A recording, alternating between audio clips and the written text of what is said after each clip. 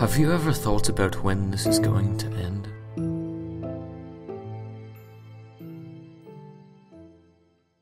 Eh, sometimes.